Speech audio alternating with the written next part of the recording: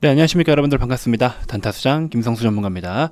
자, 우리 아카데미 오늘 2편 어, 최대한 좀 짧게 짧게 진행을 좀 해보도록 하겠습니다. 너무 많은 것들을 공부하려고 하면은 더 혼란스럽고 복잡하고 어려울 수가 있어요. 그래서 간단간단하게 뭐 하다못해 영상이 3분짜리가 되든 5분짜리가 되든 딱그 어, 편수마다 전달할 내용들만 간단하게 딱 전달을 하고 마치는 방식으로 좀할 어, 계획이니까요. 여러분들 아카데미 1편부터 꾸준하게 좀 시청을 해주시면 분명히 여러분들 어떤 단기적인 매매를 좀 선호하시는 분들께서는 매매하시는 어떤 질이 좀 많이 달라지실 거다라고 자신있게 말씀을 좀 드려봅니다.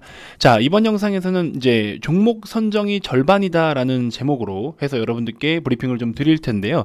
자, 가는 놈에 올라타라는 거. 이거 많은 분들이 좀 잘못 알고 있는 부분들이 있는데 이것도 같이 한번 풀어드리고 정말 어떻게 가고 있는 놈들을 올라타야 되는지 제가 설명을 좀 드려보도록 하겠습니다. 자, 본격적인 시작에 앞서서 구독, 좋아요, 알림 설정부터 한 번씩 꼭 부탁드리겠습니다. 자 오늘 아침에는 뭐 이렇게 녹화를 좀 몇 개 해놓기는 해놨습니다. 몇개 해놨는데 사실 이게 시간적으로는 한 30분 이상 소요가 됐던 그런 단타였기 때문에 오늘은 요 호가에 대해서 말씀을 드리는 게 크게 의미는 없을 것이다 라고 좀 생각이 드는데요. 어, 일단 간단하게만 몇 가지를 언급을 좀 드리면 이런 식으로 지금 어 이거는 이제 올려가면서 사는 패턴인 거예요. 제가 잠깐 말씀을 좀 드리면 우리 오늘 주제랑 좀 안 맞기는 한데요. 자 이렇게 지금 매도 호가를 계속 지금 줄여나가면서 매도 호가의 물량들을 계속 줄여나가면서 올리는 거 이거는 지금 현재가에 매수를 계속 걸고 있는 거거든요. 이런 것들은 가격을 올리면서 사고자 하는 욕구가 지금 많은 거죠.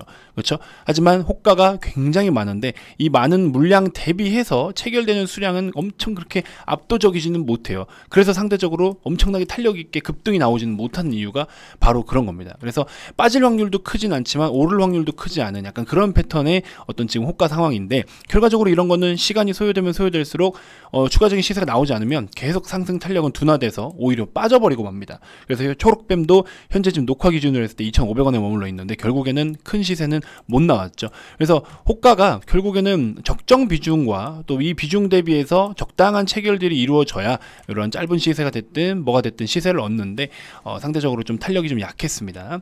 자 빅히트 같은 경우에도 여기 보시면요 어, 간단하게 말씀을 좀 드리면 자 9시 땡치고 이제 개장을 하게 되죠? 개장하고 나서 보면은 20만원이라는 요 단가에 그쵸? 20만원이라는 단가에 지금 호가가 두텁습니다. 여기 20만원의 단가 호가가 두텁죠? 7,000개인데 요건 이제 엑스레이 호가 창으로 보면은 이 7,000개가 많은 사람들이 몰린 건지 아니면 뭐 소수가 몰린 건지를 좀 확인할 수 있어요. 엑스레이 호가 창으로.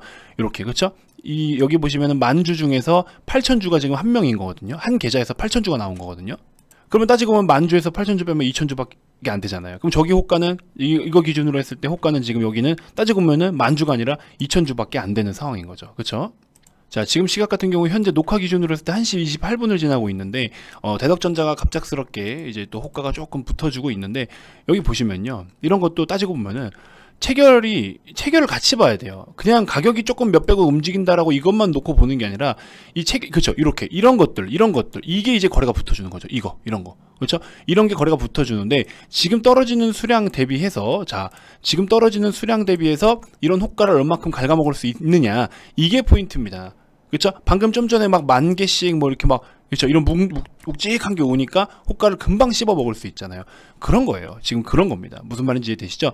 그래서 항상 호가창을 볼 때는 쌓여있는 물량, 그 다음에 쌓여있는 물량 그리고 지금 체결이 되고 있는 어떤 전체적인 수량이나 이게 절대값은 없지만 눈대중으로 이제 알아야 되는 거죠. 아 이만큼의 호가를 지금 어떻게 집어삼키고 있구나. 지금 어떤 식으로 가격을 올리면서 사구나 혹은 내리면서 팔구나 이런 것들 제가 추후에 다 소개를 해드릴 텐데 아무튼 대략적으로 지금 장 중인데 갑작스럽게 우리 VIP 회원님들 보유하고 계신 대덕전자도 지금 움직임이 좀 나와서 어, 좀 예시를 한번 드려봐 드렸습니다. 자 본론으로 좀 돌아가 보죠 자 저런 것도 하나씩 제가 다 설명을 드릴 거예요. 근데 이제 어, 여러분들이 좀 너무 이론적으로만 하면 좀 지루해 하실까봐 잠깐 그냥 보여드린 거고. 자 어, 지난번에 이제 지수 그 다음에 나무 이렇게 해서 이것만 확인을 해도 여러분들이 승률 30% 이상은 끌어올릴 수 있다고 말씀을 드렸죠. 자 이제 요거는 지워버릴게요. 그 다음에 이제 종목 선정입니다. 오늘 2편이잖아요. 2편이기 때문에 종목 선정에 대해서 브리핑을 좀 드릴 텐데 종목 선정 같은 경우 이것만 잘해도 이것도 여기서 확률이 한 30% 이상은 확률은 끌어 올릴 수 있다. 아시겠죠? 그래서 굉장히 중요한 부분입니다. 당연한 거죠. 힘이 강하고 좋은 종목을 보유를 해야 여러분들이 수익을 쉽게 챙길 수 있을 거 아닙니까? 그래서 그런 것들이 기본적으로 어디서부터 체크를 하느냐? 기본적으로 일봉입니다 일봉에서부터 체크를 하셔야 돼요. 그래서 이런 부분들 좀 특징적인 걸 이야기를 좀 드려보도록 하겠습니다. 자, 일봉이 상승 탄력을 받고 있는 중이고 상승이 진행 중이어야지 결국에 우리는 그런 과정 속에서 매매를 하는 거예요. 막말로 반대로 올라갈 만큼 다 올라갔는데 빠지고 있는 중에 이거를 우리가 매매를 한다? 빠지고 조금 올라오고 빠지고 조금 우리는 그럼 결국에 이것만 먹고 나와야 되는데 이거를 먹는 게 쉽겠습니까? 아니면 올라가다가 살짝 조정, 올라가다 살짝 조정 이게 편하겠습니까?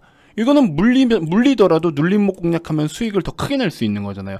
근데 대부분의 분들께서 어 빠졌으니까 이렇게 돌린다? 뭐 여러 가지 뭐 의견들은 많지만 사실 저 같은 경우에는 무조건 일봉 기준으로 해요. 이것도 약간 아 좀 중요한 내용인데 자 어디까지 어떻게 오픈을 해드려야 될지 잘 모르겠어서 지금 말이 좀 굉장히 버벅거리긴 합니다만.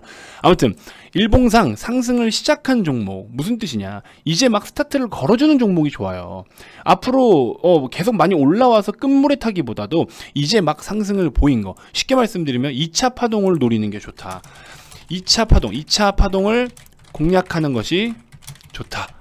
3차, 2차까지 나왔어요. 자, 장대 항봉 뻥 터지고 또 뻥 터지고 뻥 터졌는데 그 뒤에 끝물을 탄다? 빵, 빵, 빵. 여기서 탄다? 이제 내려올 일만 남은 거죠. 그럴 바에는 한 번 터지고 공격적일 수 있지만 두 번째 파동을 노리고 이게 나은 거죠. 세 번보단 두 번째가 낫고 왜? 세 번째까지 올라가면은 첫 번째부터 시작했던 매물들이 차익 실현이 점점 나올 테니까. 그러니까 아직 상승이 진행 중인 2차 파동을 노리는 게 가장 효율적이다. 1차, 1차 파동만 기다리고 있으면요. 단타로서는 효율적이지 못합니다. 언제 오를지 모르는데 그냥 기다렸다가 일류 한번 먹고 나온다? 굉장히 의미 없어요.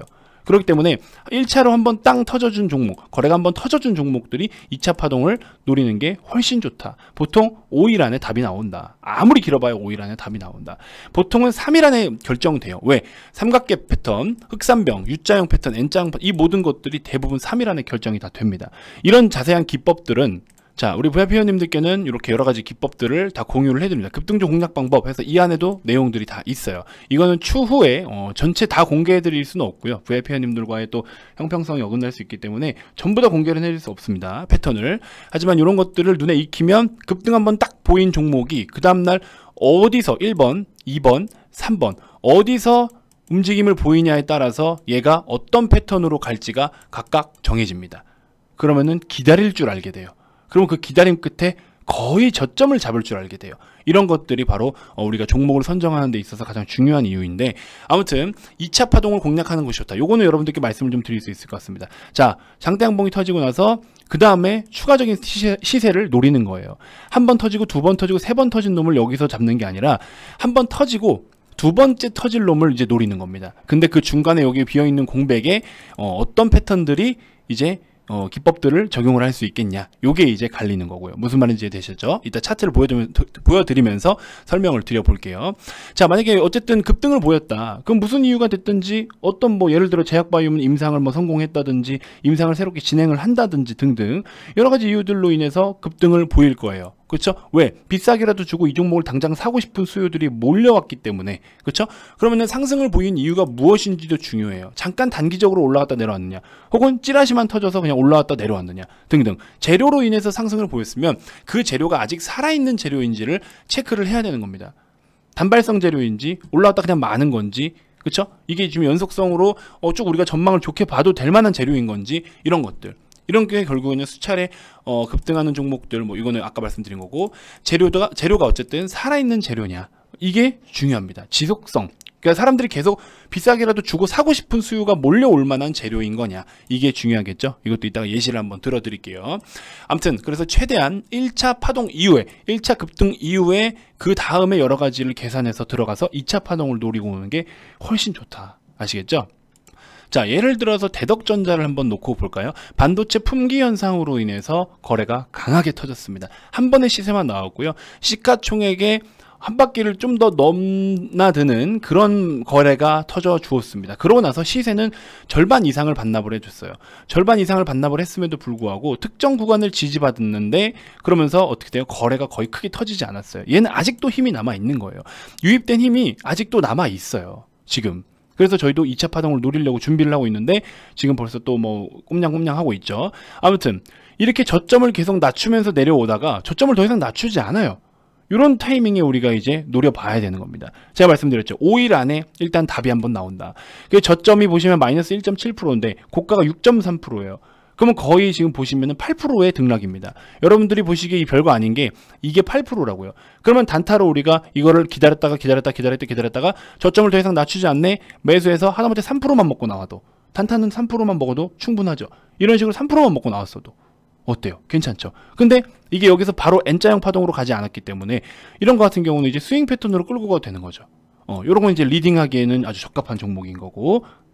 자, 다음 가온미디어라는 종목입니다. 자, 가온미디어도 보시면은 어때요? 횡보를 보이다가 쭉 횡보를 보이다가 여기서 거래가 한번 땅 터져줍니다. 그렇죠? 그러고서 요 캔들이 있는데 이런 날을 원래 공략을 해야 되는 거예요. 왜? 잘 보세요. 여기 잘 보세요. 이렇게 놓고 봤을 때 이 날의 저점에다가 제가 딱 선을 그어 볼게요.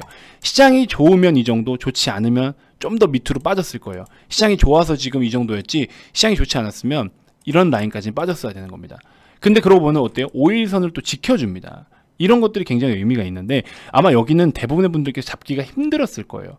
어, 힘들었을 거예요. 그래서 오히려 그 다음날 더 크게 터진 이 거래. 이때 같은 경우에는 이제, 어, 무슨 이슈가 있냐. 14일 같은 경우에 가온미디어가 테슬라 그 KT 테슬라 진입뮤직에 탑재가 된다라는 이슈로 인해서 급등을 보여줬었고요. 그 다음에 최근에 뭐 요때는 다시 이제 가온, 자회사인 가온 브로드밴드가 있어요. 그 공공 와이파이 수주 소식에 급등을 좀 보였었는데 아무튼 이때 당시 보시면은 이때랑 이때랑 각각 다른 이슈로 급등을 보여줬어요. 그러면 좋습니다. 이날 하여튼 급등을 보였습니다. 첫 번째 한번 급등을 나타냈어요. 그러고 나서 이제 2차 파동을 노리는 건데 보통 5일 안에 답이 나온다라고 했죠. 자, 1차 파동 그 다음에 여기 보시면 두 번째 이튿날 3일 그러고 나서 저점을 더 이상 낮추지 않나. 이걸 체크하라고 했죠.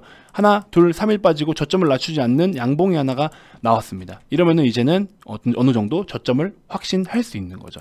그러면은 내가 이날 못 샀다. 다음날 시가 밑으로 사야 되는 거죠. 그러면 이 시가 밑으로 살 때 실시간으로 또 어떻게 사야 되느냐? 그거는 제가 이제 나중에 호가창을 보면서 잡을 수 있는 방법을 설명을 해드릴 건데 일봉상에서 종목을 선정하는 방법에 대해서 말씀을 드리는 거예요. 무슨 말인지 이해되시죠? 그래서 한번 급등이 나온 뒤에 이날은 우리가 관심을 가져야 되는 날이에요. 이날 따라 사는 게 아니라 이날 관심을 갖는 날입니다. 그럼 얘는 전체적으로 일봉이 어때요? 올라가고 있는 중이에요. 근데 그 다음날 패턴을 보니까 급등 다음날 보면 어때요? 시가가 얼마입니까? 마이너스 4.76%예요. 고점에서 만약에 매수하셨던 분들이 계신다라고 하면요. 고점 대비해서 이날 시가까지만 하더라도 마이너스 10%를 그냥 꽁으로 버리고 시작해야 되는 거예요. 그러니까 이런 날 붙는 게 아니에요. 이런 날 따라 들어가는 게 아니고 뭐 5연상 6연상 막 뻥뻥 가니까 운 좋게 한번 상 따해 보려고 따라 들어가시는데 이날 들어가는 게 아니고요. 그 다음 날 어떤 캔들을 어느 자리에서 만드느냐에 따라서 얘 앞으로 움직임이 달라집니다. 그러면 요만큼의 움직임과 요만큼의 움직임은 둘 다 다른 패턴이에요. 얘는 내일 보세요. 이렇게 삼각계 매매 기법 올라오면은 아마 8,000원의 지지받고 지금 계속 8,000원의 지지가 형성이 되고 있어요. 별거 아닌 것 같죠? 별거 아닌 것 같지만 자세히 보면 지금 8,000원의 지지가 계속 이루어지고 있어요. 정말 강하게. 호가창 보세요. 이 8,000원을 중심으로 이 물량이 이렇게 두텁게 쌓였다고. 절대 8,000원을 깨지 않으려는 모습들이 보여지고 있다고요. 시장이 좋지 않으면 좀 더 빠질 수는 있겠죠. 근데 내일 5일선 올라오면 어떻게 돼요? 8,000원까지 올라오겠죠. 그럼 내일 8,000원 지지받고 반등 나올 수 있겠죠. 시장이 괜찮으면. 어, 항상 제가 말씀드리는 거는 시장이 평범할 때 시장이 좀 좋지 않으면 8,000원 기준 잡았어도 마이너스 한 100원 정도는 더 기준을 잡아야 되는 겁니다. 아무튼 이런 식으로 그래서 각기 다른 불기둥 이후에 이걸 제가 항상 불기둥이라고 이제 표현을 할 거예요. 불기둥 이후에 어, 그 다음날 시가가, 그 다음날 캔들이 어디서 어떤 모습을 보이냐에 따라서 유형들이 달라진다. 아시겠죠? 불기둥 품고서 횡보하다가 바로 2차 파동 이렇게 나오는 경우가 있고, 불기둥 이후에 눌렸다가 U자형이나 N자형 파동이 나오는 경우가 있고, 여러 가지 많아요. 어, 그래서 이런 것들이 다양한 패턴들이 있다. 그래서 전체적으로 일봉으로 보면은 아직도 상승을 해도 되는 패턴들이잖아요. 그렇죠? 근데 예를 들어서 자, 예를 들어서 자, 한국 파마다 어, 이렇게 하나, 둘, 셋, 넷, 다섯 번의 상한가를 쳤다.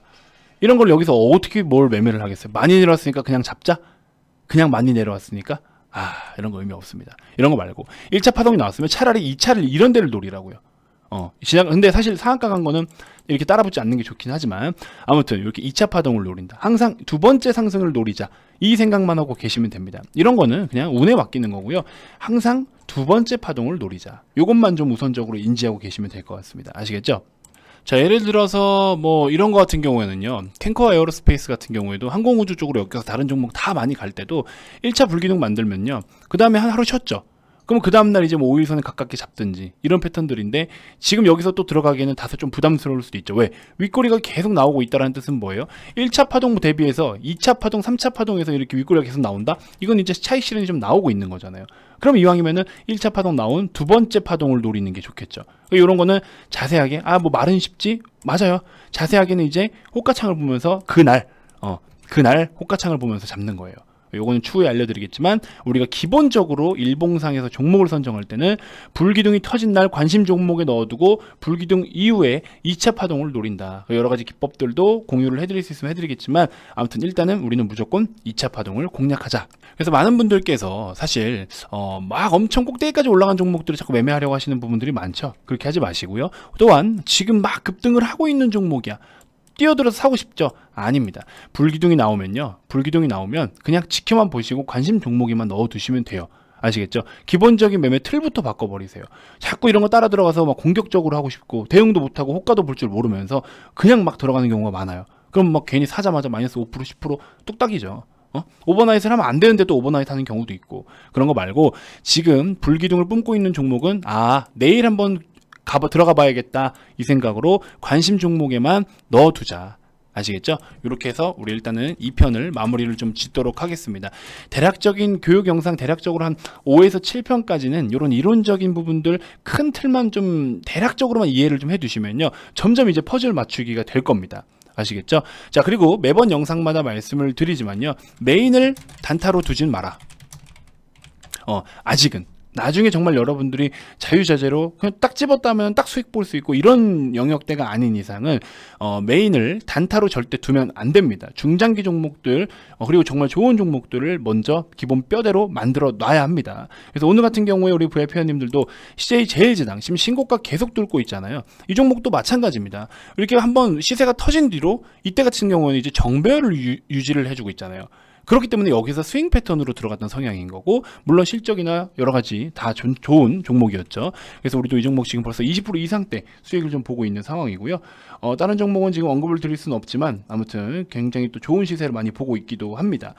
자, 아무튼 이렇게 좀 보유를 하면서 우리도 수익을 좀 챙겨가고 있고 컴퍼니 K 같은 거, 뭐 대덕전자 지금 충분히 다 2차 파동 한 번 더 노려볼 수 있는 힘들이 남아 있는 그림들이에요. 컴퍼니 K도 마찬가지고. 그렇죠? 바닥으로부터 이제 한 번 시세 나오고 2차 파동 준비하고 있는데 5일선 가파르게 들고 있죠. 5일선만 깨면 그냥 매도하면 됩니다, 우리는.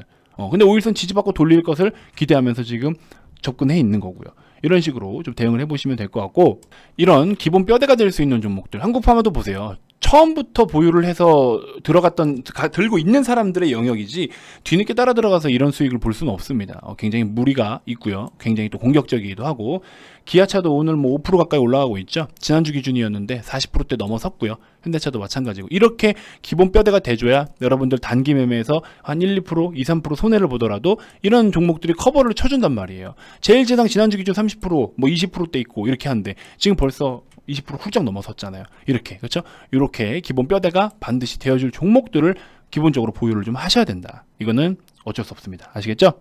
자, 아직도 새해면 새해죠. 지금 오히려 시장 흘러가는 이런 그림들을 보니까 정말 너무 아까워서 안 되겠습니다. 물론 최근에도 이벤트를 잠시 멈췄을 때도 많은 분들이 오셨었어요. 많은 분들이 진입하셨는데 그분들도 어때요? 지금 오자마자 사라는 거 사니까 벌써 지금 다 수익권으로 접어들잖아요. 그렇죠? 단기적인 거 제외하고 뭐 스윙 중기적인 패턴들은 주력 종목들이라고 우리가 언급했던 것들은 지금 벌써 수익으로 바로바로 바로 나타나고 있다고요. 이거 아직도 여러분들 기회 열려 있습니다. 그래서 괜히 늦장 부려서 나중에 뒤늦게 뭐라도 해보겠다고 그제서야 와서 이런 거 안 주나요? 찾지 마시고요. 이미 회원님들은 다 이렇게 높은 수익률로 가져가고 있는데 어, 계속 고민만 하다가 놓쳐가지고 이런 거 지금도 잡을 수 있는 걸 못 잡고 그냥 그렇게 흘려보내는 경우들도 많죠. 자 정말 좋은 기업인데 사실 엄청 많지는 않아요. 그래서 지금 찾아낸 것들 이거를 좀 같이 좀 해보고 싶어서 여러분들께 다시 한번 좀 진입 장벽을 낮추고자 이벤트를 또 진행을 합니다. 짧게 진행할 거예요 이번에는 잠깐 뭐 연말 어, 연 1월달 어, 말까지라도 짧게 진행해서 정말로 이번에 선택을 하시는 분들은 끝까지 한번 같이 간다라는 생각으로 어, 리드를 해 드릴 거고요. 뭐 그럼에도 원치 않으시는 분들은 유튜브로도 충분히 나는 읽고 해석할 수 있다 하시는 분들은 그렇게 하셔도 좋고요. 아무튼 시장이 주는 이 좋은 기회를 나만 가질 수 없다. 저만 가질 수가 없다. 그래서 여러분들께 다시 한번 제가 과감하게 열어 드리니까 꼭 기회에 한 번 더 참여하셨으면 좋겠습니다. 자, 다음 영상에서도 제가 또 더 좋은 정보들로 여러분들께 인사드리도록 하겠습니다. 자, 어, 이 카톡방에도 VIP 회원님들 전용 영상이 따로 또 있어요. 이런 것들도 앞으로 더 좋은 내용들 많이 담아 드릴 테니까 공부하시는 분들 오셔서 또 참고하셔도 좋을 것 같습니다. 자, 이번 영상은 여기서 마무리 짓도록 하겠습니다. 고맙습니다.